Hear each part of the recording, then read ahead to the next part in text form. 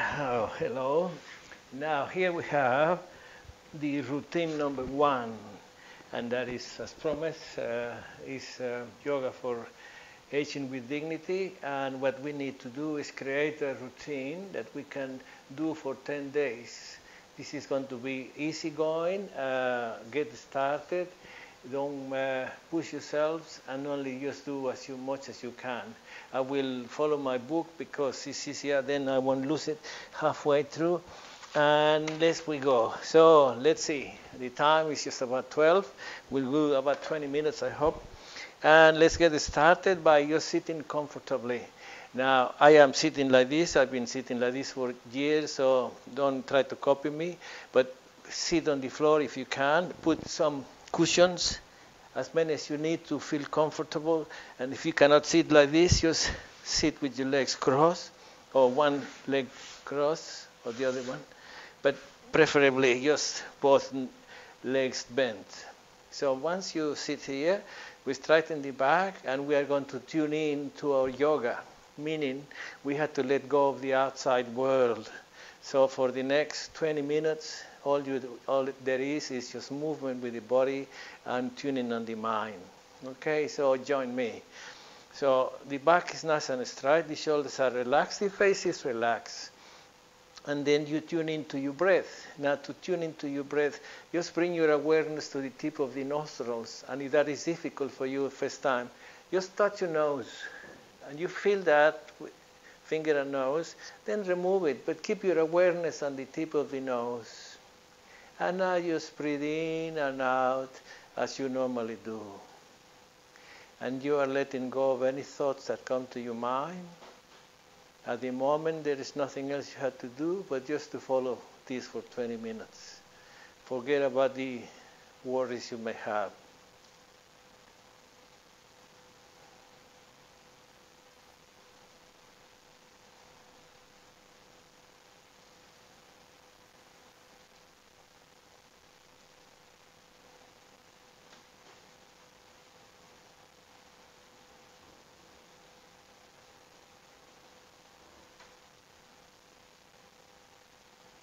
And when you're ready, open your eyes, straighten the back once more. And remember this you can do separately. Once you don't have to follow the video, you can just sit here as long as you like. I would recommend two to three minutes before the movement starts. So first thing we do is just three deep breaths where we inhale, we retain the breath, we exhale, and we retain the breath again. We do that three times, lifting the arms, and I'll count for you.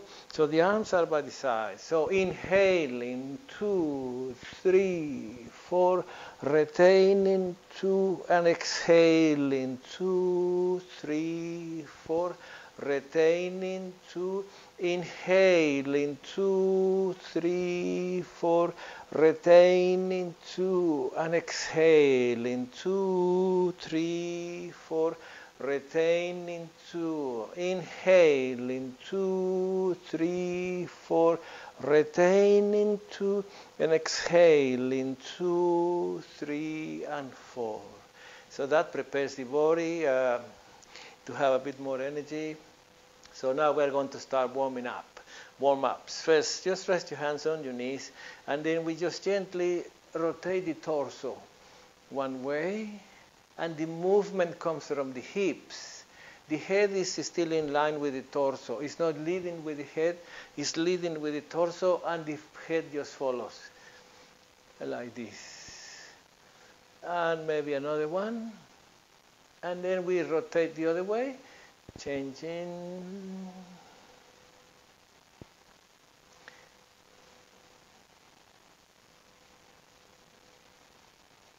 and one more and back to the center. So now we do camel rides. That's for the thoracic part of the back. So rest your hands on your upper ankle or the floor, whichever way you can. And then slowly as you inhale, bring the torso forward and you arch it back.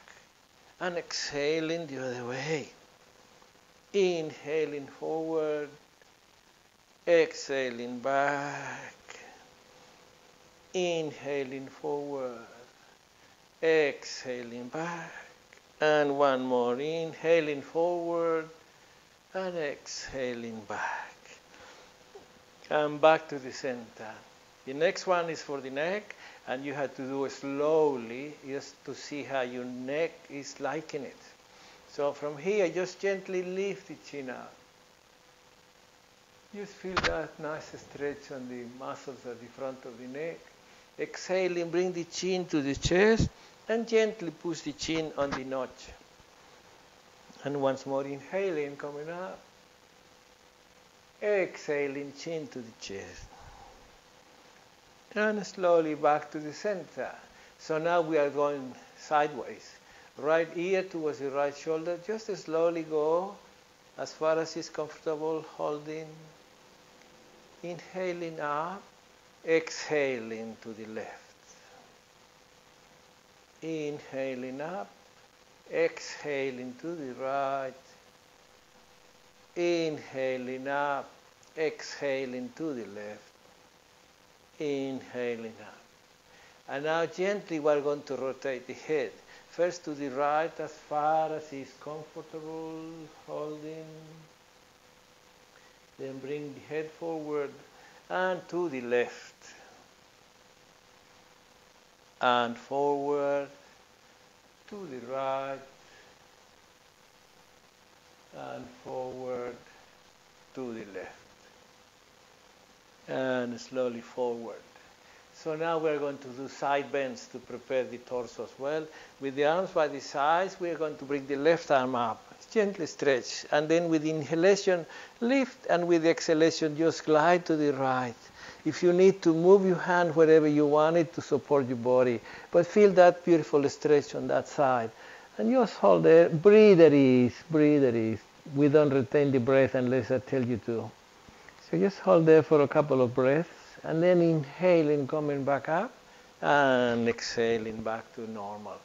The other side. Inhaling, arm up, exhaling, side bend. And holding there two or three breaths. And with an inhale, coming back up and releasing. One more, a little spinal twist. We're going to twist the whole uh, torso to the right. So first bring the left hand on the outside of the right knee, the free arm behind the back, and slowly twist to the right, follow with the head if it's okay for the neck. Otherwise, don't. Just hold there. And releasing, come back to the front, and then the other side.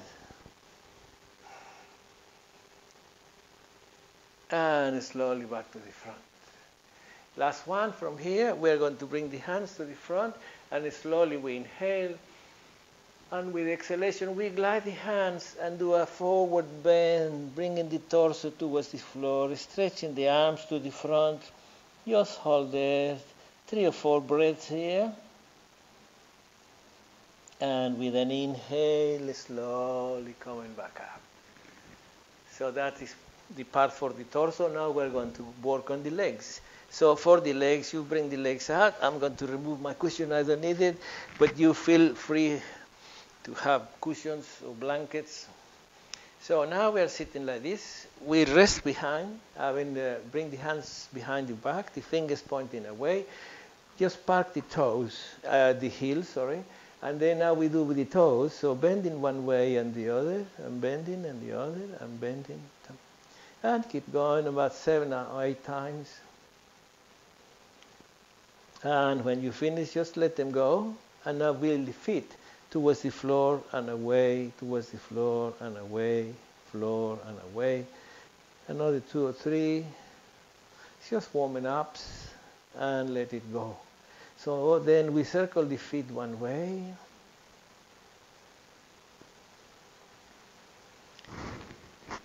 And we circle the other way. And coming to a halt, we release. We bring the legs to the edge of the mat, and slowly we bring the legs out. So now that's working on the hip joint. And slowly bring the feet towards the center, and bring them to the outside, and to the center, and hold them a bit longer there, and release. Bring the legs together, sit up, Interlocking the hands behind the right knee, bring the knee to the chest, straighten the back. And slowly lift the leg up. And just feel how beautifully this muscle is working, the hamstring. And release. And one more. And release. And one more. And then just keep the leg there and bring your hands to the ankle as far as you can go and lift as much as you can, trying to keep the leg straight. So you feel the pull on this muscle and just hold it there. This is all warm ups, and we'll use it later on when we do an hour class. And then slowly releasing, we bring the foot to rest on the thigh, we lift, and then we rock. We rock, we rock. Working on the hip still. Hips are very important. If the hip joints are good, you can walk as long as you like. And bring the foot to the ground. Take the leg out. Sit. Take a breath. And we'll do the other side. Interlocking the fingers behind the left knee. Bring the thigh to the chest. Straighten the back. When you're ready, lift the leg and hold it. And release. And lift it. Try to straighten it. And release. And once more lifting and getting hold of the ankle and lifting, trying to straighten it. Don't force the back. This is more for the leg. Hold there.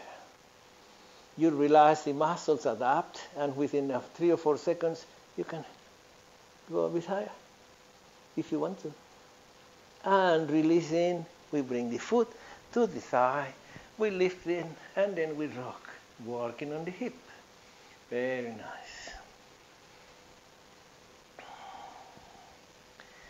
And back to the center, leg to the, foot to the floor, come out, and stand up sitting. So now we're going to work a bit more with the abdominal muscles. I'm going to start you with the easy ones, which are the boats. A boat. Imagine you are on a boat and you're about to row. So first find your sitting bones just nicely parked on the um, mat. Then brace the abdominal muscles, that means yes. And then lift, uh, lean back and bring the legs one foot high. That's it. And bring the arms parallel to the ground and just hold there. It's going to be hard the first time if you haven't ever done it. So you can bring the legs just a little bit lower if you want to, or do one at a time. But do something. Task your, your muscles. You'll be so happy when they develop. So just hold there. And slowly releasing. Bring the feet to the ground. Bring the hands behind the back. And release the abdominal muscles. Now one more. It's called a plank, and this is going to be hard for the wrist, so do it very slowly. We bring the feet to the edge of the mat. We lift, just holding there. And if that feels good for the wrist, then you can lift a bit more, straighten the body. So it's a plank. And just hold that, look at the ceiling. Don't drop the head because it's very hard for the neck. So keep the head in line with the torso. Just hold in there. Feel that nice stretch on the uh, wrists. And when you're ready, slowly exhaling, come back to the floor. Bring the arms to the front and give the hands a little shake. Release any tension. No need to hold the tension. Now we do another one for the abdominals, and this one is the full boat. So we find the sitting bones, we straighten the back, we brace the abdominal muscles, we lean back. This time the toes are in line with the eyes. The arms are parallel to the floor, and you hold there nice and strong. Yes, you can do it. Don't shake. If you shake, it's okay. but keep the abdominal muscles tense. That's what we are working on.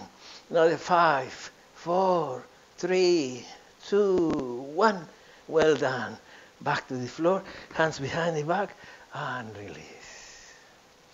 So now we're going to roll over and start working on the back and the calf muscles the leg muscles. So first, you sit up, cross the legs, and then roll over. So we are rolling over. So now we are what we call uh, a table, a little table, or we call it also the on all fours. So the hands are under the shoulders, the knees are under the hips, the toes are pointing away because we are going to work on the knees. Very slowly bring the buttocks to the butt, to the heels, pushing the floor in front of you.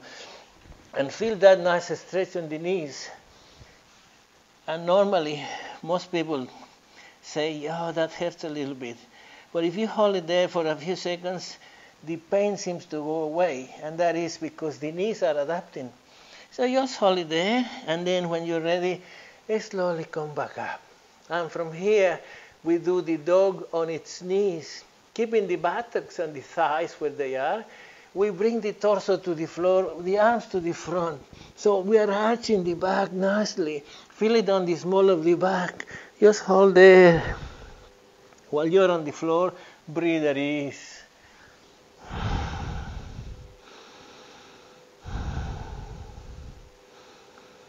And slowly coming back up into all fours. So now we're going to do one called the a hip opener, and that is a pigeon. And the pigeon is the second pigeon has two movements. This is the second one. So just come with me. Bring the right knee forward, straighten the left leg, point the toes away, lower the buttocks to the heels, hands on either side, inhaling and exhaling. Just bring the torso to rest on the thigh and bring the arms to the front. And if you can, re- relax the back and let the forehead go towards the ground. And just relax. We hold that for 10 seconds. It works nicely on your hips. Helps you to prevent uh, sciatica. And when you're ready, slowly coming back up, hands on either side, the tucks under, toes under, come back to all fours. So now we do the left knee forward, straighten the right leg, hands on either side, lower the buttocks to the heels, and when you're ready, bring the torso to the thigh, arms to the front, and finally the forehead towards the mat, and hold and breathe.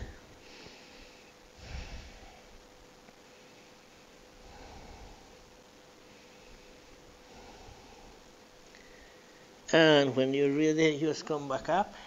Tuck the toes under, back, lifting into all fours. So toes under, we're lifting, and then we're walking the hands towards the toes, and slowly, very slowly come up into standing. We are nearly there. Time is almost there too. So this is the first sequence, and we'll change it as we go along to introduce more things and go a bit faster and a bit stronger. So that is the idea. But first, you have to gradually start. So from here, now we are going to do just repetitions for strengthening the legs, which is not quite yoga, but that works. I have discovered that it's good to have strong knees, strong thighs, strong calves. So for that, we're going to do two things. First one is use squats. Use your arms for balancing. The feet are parallel to each other, hip width apart for better balance. And then when you're ready, slowly lower. And hold there, one or two. And inhaling, back up. You like that? And again, holding, and coming up. That's two. And again. We are only doing five today. So this is four. But as gradually as you start doing more and more, you end up doing 25. yeah, it's just not bad. You'll probably take two months to get there. So that's your five. The next one is one to work on the inside of the thighs, which is very important muscles there. We're going to do uh, lunges. So for the lunges, we're going to take the legs wide, the feet parallel to each other, and still put your arms here for better balance. And we're going to do five as well. So we go first to the right, bending the right leg, keeping the left leg nice and straight. Okay? The hands in the prayer position because it's easier to get them out of the way. And then inhaling, going up, exhaling to the other side. So that's one. Inhaling, exhaling. That's two. Coming up. And that's three.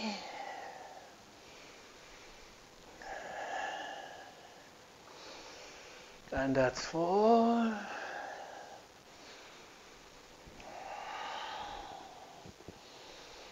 And that's five.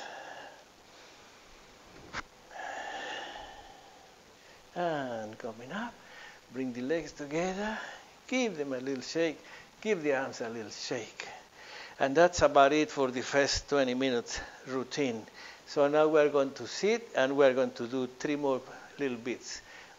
I'll show you. So first, from here, just shake the arms, take the legs. If you want to, with the feet parallel to each other, hip width apart, just gently swing the arms to release any tensions on the shoulders or the back. And then when you're ready, come back to sitting. So we're sitting once more. And now we're going to be quiet. We are going to do a little breathe of, a bit of breathing, and we do a little meditation. And the relaxation, I'll just show you how to get into the posture, and then I'll leave it there. Next maybe two or three more videos from, from this one, I'll take you through a full Yoga Nidra, which is a beautiful thing to do, and I'll describe it as it comes as we, when we get there. So first, just sitting comfortably. We are going to take three breaths as we did at the beginning hands on the sides. When you're ready, inhaling, two, three, four, retaining, two, and exhaling, two, three, four, retaining, two, inhaling, two, three, four, retaining, two, and exhaling, two, three, four, retaining, two, inhaling, two, three, four, retaining two and exhaling two, three, and four. So that is it for the breaths. So rest your hands on your knees, and we are going to do just one minute meditation. This meditation is called passive meditation because we don't want to move if possible.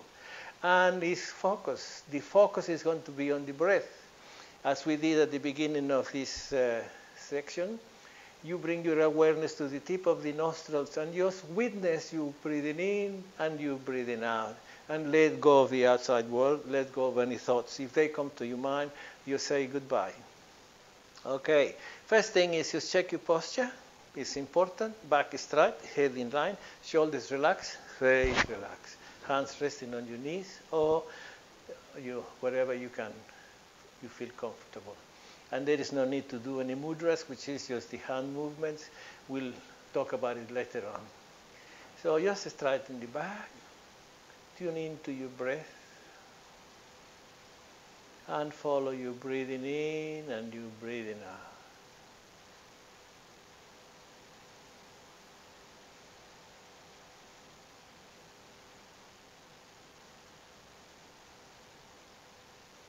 And you can do that as long as you like. After the first time, probably you want to breathe a bit longer. And then when you do that, just lie down on your back and relax. I won't relax today because the video is getting longer, but you can from here do anything you like. So just relax. The way you relax is letting go the legs, allowing the feet to drop to the sides. Bring the arms by the sides, if possible, with the palms facing upwards. Relaxing the back closing your eyes and just be, be there. You can keep your awareness on your breath. And do that as long as you need to, as long as you feel that you have the time to do it. And then when you're ready, that's it. You have done your 20 minutes, actually 27, 25 minutes, sorry, but that's how it is. Anyway, I'll see you on the next video. Ah. And remember, you had to do it for 10 days.